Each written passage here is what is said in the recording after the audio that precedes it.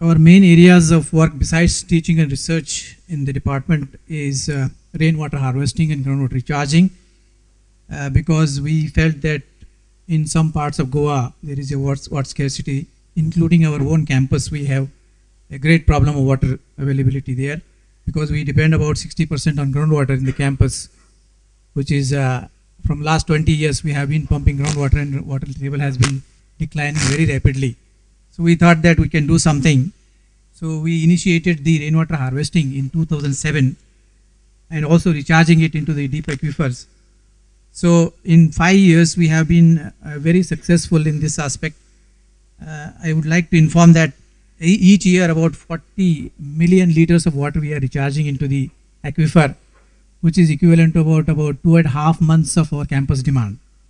So with these field models, uh, they have become very demonstrative to the rest of the people.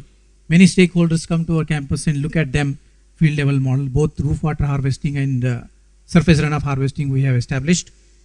And uh, as on date, about a dozen of these uh, recharging structures have developed for the industry in Goa, and they are working very uh, satisfactorily. Right now, I'm, I'm working in- the state of Madhya Pradesh. If you look at the, uh, the state of Madhya Pradesh, basically uh, two issues are becoming a limiting factor. One is the source sustainability and slippage of drinking water sources, and other one is the geogenic contamination, especially because of fluoride.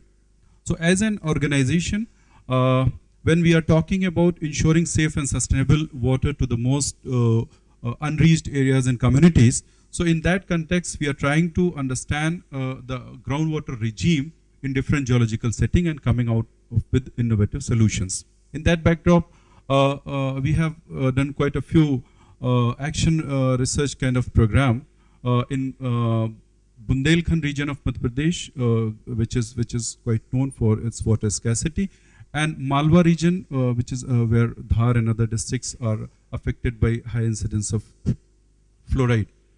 And uh, as far as these solutions are concerned, we have got uh, we have come out with uh, quite successful models.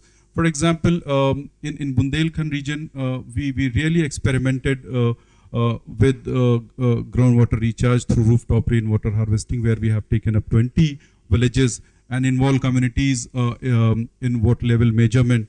And as a result of this, our, our focus in this particular area was to increase the number of perennial drinking water sources. In, in another exam- examples in Chhatarpur uh, districts, where I think Himanshu is here, he has also given his input to identify catchment area and within that catchment, how really we can ensure the drinking water sustainability. The other area where we are experimenting with is coming out with some uh, innovative solutions um, for fluoride mitigation and management. Here, the focus is not on technology or on RO filter, but how to educate community uh, to, to use alternate sources, especially to um, uh, for for safe and sustainable drinking drinking water. Under this project in Dhar, not only we have uh, come out with solutions, but also try to link it with health parameters. In a span of three years, uh, in fact, uh, uh, we, we did some health surveys, especially around fluorosis. Uh, we tried to uh, measure the fluoride level in human urine and after supplying safe water.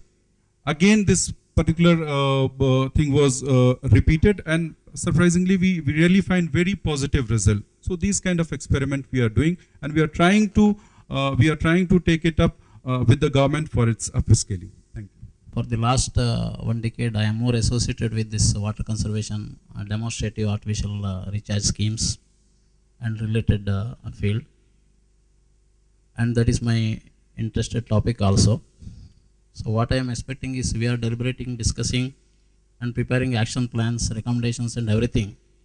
What is expected uh, uh, is actually when you are thinking on those actions, we have to remember that or we have to think that we are in field and deciding about that. Because the action plans what we are preparing finally it has to translate into field level.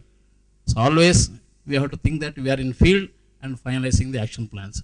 Otherwise what we are observing and what we are feeling will be miserably failing. I can see that there are obviously going to be challenges and opportunities. And I was looking at the box of opportunities. in terms of what's happening or what has happened in the last sort of two or three years in India. Um, quite a few of us here were part of this, the 12th plan exercise, in which, in our own ways, I think this is probably the first time that civil society or people outside the government got a voice or got enough space to voice their opinions, voice, put their ideas forward.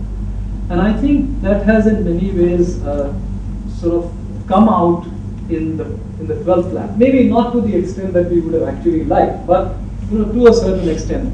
I, I think the kind of work that Tushar did in terms of the large, you know, projects, medium projects, large irrigation projects, and the sort of two or three point agenda that has come forward. I, I, I see this as an opportunity of a very different kind, where there is going to be a certain amount of space for convergence, convergence of ideas, convergence of or opportunities of the government working alongside with civil society, with academic institutions, and but having said that, I don't think we've done enough in terms of designing that collaboration or designing that cooperation or designing uh, the context itself in which this partnership could evolve. And I think to me, this meeting is almost trying to answer that question. That how do we come up with a first cut design on that partnership? Tomorrow, I mean, I know the, the next week I'm meeting up with, uh, with Dr. Dhiman from Delhi. And he was posing me a question that how do we fit the civil society role into this whole aquifer mapping program? We need to sort of sit together and decide on that. And I think this meeting can answer those kinds of questions. So it's not just about how how Arghyam's own program on groundwater and sanitation will evolve, but how Arghyam's program could act as a very useful lever in a larger program. And maybe that's the kind of answer that I seek when I come to a meeting like this.